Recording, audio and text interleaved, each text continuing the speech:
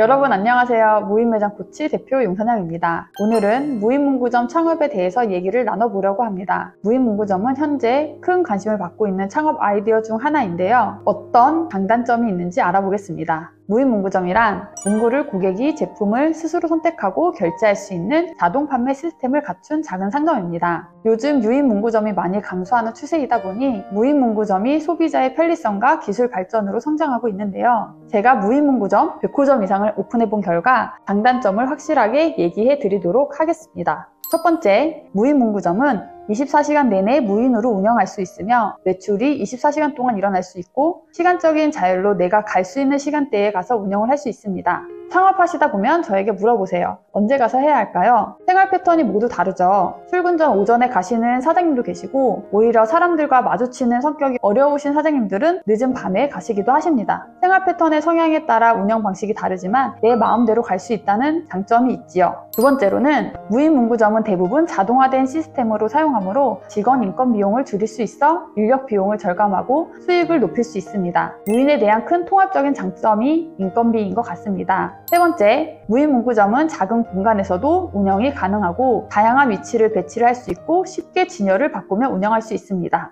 네 번째, 소자본 창업으로 다른 무인 창업보다는 창업 비용이 부담되지 않습니다. 3천에서 많이 들면 5천까지 들 수 있는 점입니다. 다섯 번째, 고정 비용이 적습니다. 월세, 관리비, 키오스크 또는 원격 제어, 렌탈비, 프랜차이즈 같은 경우는 로얄티 정도가 있지만 그렇게 다른 창업에 비해 크진 않습니다. 여섯 번째, 폐업을 해도 위험 부담이 적어 폐업을 하더라도 반값 할인 판매로 물건을 판다면 어느 정도 정리가 가능하고 타 업종에 대비해 손실 리스크가 적습니다. 이제 단점을 알아보도록 하겠습니다. 첫 번째, 타 무인보다는 높은 노동력을 요구합니다. 매장이 크면 클수록 매출이 높으면 높을수록 물건을 계속 채워넣어야 합니다. 거의 유인으로 가고 있죠. 제가 저희 지역 매장에 있었는데 새학기 때 3월 첫째 주간 물건을 하루에 3번씩 도매처에서 사다가 채우느라고 거의 하루에 6시간 노동을 한 2주간 했던 것이 기억이 납니다. 매출은 높아서 좋았지만 생각보다 무거운 박스들과 진열과 청소와 힘든 노동이었습니다. 두 번째, 도난 및 파손인데요. 도난 시 경찰에 신고하고 학교 학원에 찾아가야 해서 심적으로 많이 힘듭니다. 저 같은 경우에도 경찰에 몇십 번을 넘게 신고해 봤는데요. 요즘에도 정말 빠르게 잘 찾아주시지만 아무래도 심적으로 스트레스가 있기 마련입니다. 세 번째로 아이들의 인기 상품을 선보이는 게 가장 힘듭니다. 너무 즐겁게 서치도 하고 도매처를 다니면서 쇼핑하듯이 운영하시는 사장님도 계시지만 생각보다 매번 어떤 걸 구매해야 하는지 신경 써야 하는 게 스트레스 받는 사장님도 계시더라고요. 이거는 나이 나이도 상관이 없고 성별도 상관이 없습니다.